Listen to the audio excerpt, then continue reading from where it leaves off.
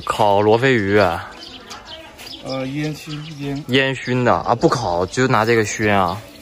Hello，今天又进村了，西双版纳的曼掌村。这个村子呢，刚一进来会让人感觉稍微有一点商业化，因为从一进村开始就会发现，周围全部是农家乐，包括傣味烧烤。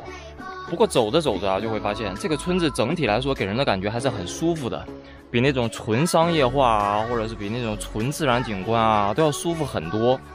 这里的生活气、烟火气很浓，尽管有那么多的农家乐啊，但是还是有一百多户人在这里生活的。除了生活气、烟火气之外，稍微往村子的深处走一走，整个村子也不是很大。这边还有这种做竹筏漂流的，除了漂流以外啊，在这里呢还可以体验傣家的造纸。傣家的陶艺。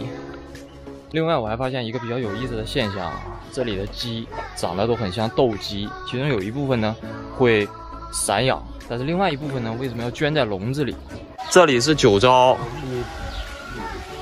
啊，玉米，然后这下边是加热啊。啊，我这都闻到这个酒的香味了，对。然后通过一根小管子。我们这不不搞酒这个。嗯。这个是在过滤哈，呃，对过滤，嗯，这酒有多少度啊？现在可能有六十度，六十度啊，那挺纯的，嗯，纯啊。这个是烤罗非鱼，呃，烟熏烟。烟熏的啊，不烤就拿这个熏啊，熏干了真没吃。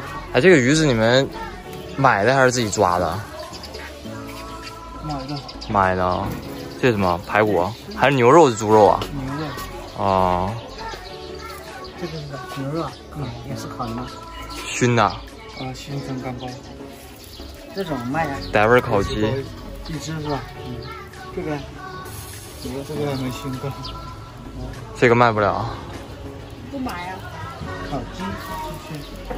我能来半只吗？一只吗？啊？呃，都是一只一只的吗？不是那个他们半只，我半只行吗？你们自己唱的吗？可以吗？对啊。要不一只看着有点多，可以吗？那就那就来一只，然后我俩一人一半。好。这是什么料？烧烤料。啊。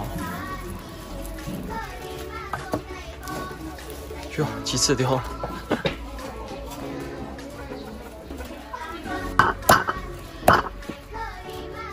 碎一点吧。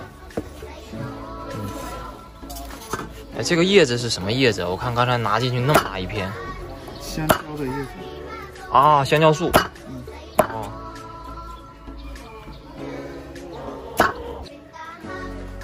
好，谢谢。哇哇哇！